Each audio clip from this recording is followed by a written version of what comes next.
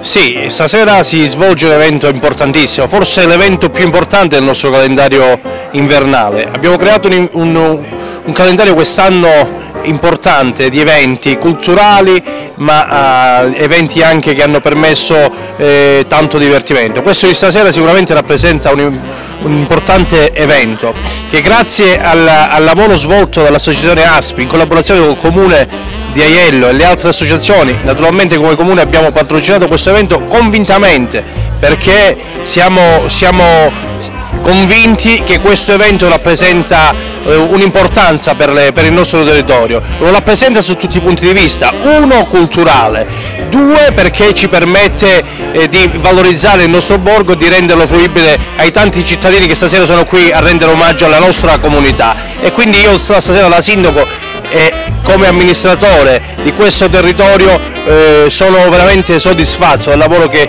stiamo portando avanti in sinergia con le associazioni.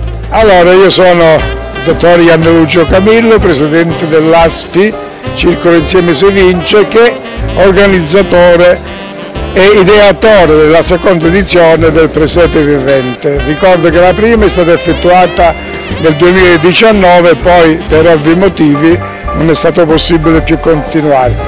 Abbiamo ripreso oggi con tanta tanta lena e soprattutto ho il piacere veramente di ringraziare tutte le associazioni che hanno collaborato, hanno dato tutto di loro stessi perché questo evento arrivasse ad, ad, ad un alto valore. Lo scopo qual è? Lo scopo è quello di eh, manifestare, far conoscere a tutti, anzi a tutto il mondo vorremmo dire, il nostro borgo, che è un borgo veramente meraviglioso. Abbiamo dei palazzi che purtroppo oh, alcune volte sono chiusi per lunghi periodi, noi siamo riusciti ad aprirli grazie anche al consenso dei proprietari e soprattutto abbiamo il Palazzo Malaspina che di recente è stato restaurato e che è stato possibile renderlo eh, transitabile al pubblico. Ringrazio, dicevo, le varie associazioni perché ognuno di loro ha dato tanto.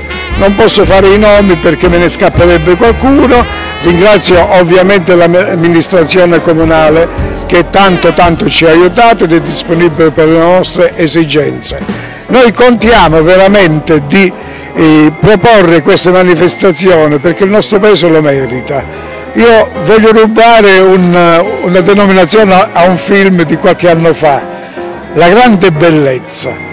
La grande bellezza è di questo Paese, questo Paese che ha vicoli, ha portali, ha costruzioni storiche di veramente importanti e sicuramente da vedere.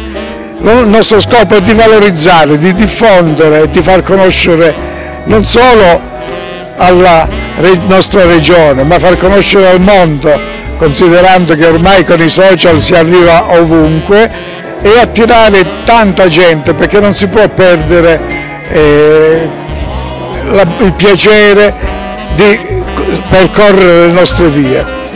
E posso anche dire un'altra cosa, noi abbiamo ancora tante tante cose belle da scoprire. E l'occasione del presepe vivente sarà un, un continuo scoperchiare le cose che ci appartengono, le cose che sono nascoste, le cose che ormai sono trascurate. Noi le vogliamo riportare in auge e farvele vedere a tutti, per cui oggi è la prima rappresentazione del presepe vivente ma voglio ricordare che il 5 gennaio del nuovo anno ci sarà la seconda rappresentazione e saremo ancora, ancora, ancora più caldi, più caldi e molto e sempre accoglienti. Grazie, vi aspetto numerosi. Salve, buonasera, sono il dottore Stefano Iannilucio, con mio padre dottore Camillo Iannilucio, facciamo parte dell'ANSPI, mio padre dottore Camillo è presidente dell'ANSPI e come tre anni fa abbiamo ripreso questa bellissima eh, manifestazione che è il Presepe Vivente da Iello Calabro, un'opportunità, un'occasione per, nostro, per conoscere il nostro borgo, valorizzarlo e farlo conoscere qui. Eh, paesi limitrofi, ma eh, diciamo in tutta la regione, in tutta la Calabria. Eh, io sono qui davanti proprio all'ingresso oh, che inizia con questo manufatto, questo arco che è eh, la grande maestranza del nostro artigiano oh, Rosario Bernardo eh, riuscito ad allestire. Questo arco è fatto all'interno di uno scheletro in legno e poi rivestito in polisterolo, ma può ingannare, sembra pietra vera. È, è un ottimo biglietto d'ingresso per un percorso che si presenta caratteristico. Abbiamo aperto i portoni, le case, i palazzi nobiliari e facciamo conoscere con questa manifestazione il nostro borgo a tutti i visitatori. La prossima serata sarà il 5 gennaio dalle ore 16 alle ore 19. Venite numerosi, vi aspettiamo. Grazie.